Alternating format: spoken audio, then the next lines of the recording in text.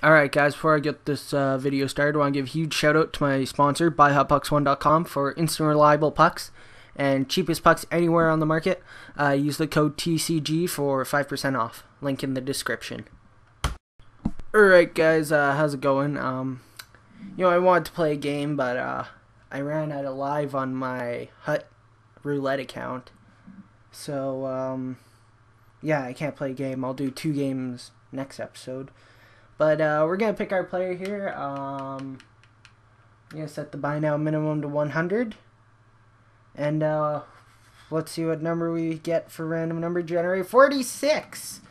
So, uh, 46 player. So that's 10, 20, 30, 40. And the sixth player on the next page is 1, 2, 3, 4, 5, Six. Ooh, Evander Kane. Oh, that's uh that's a good pickup. Um I'm gonna go find a cheaper one on the market. There you go, Vander Kane. Evander Kane is now on the squad. Um it's sad that I didn't get to play my first game, but I need I want to get an episode out to you guys, uh instead of just not putting out anything today. So um yeah, we picked up Evander Kane. Um, pretty lucky considering we did. It was just a random buy now, but uh, oof, where are we gonna? I think we're gonna put him on the second line.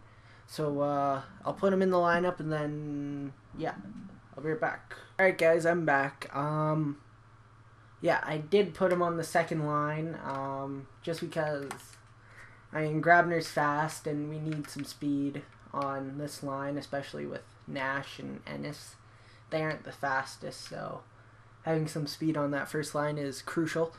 But uh, I think he's gonna do well. If he does well enough, maybe I'll put him up on the first line, and I'll do something else about that. But uh, thanks for watching this short episode of uh, Hut Roulette.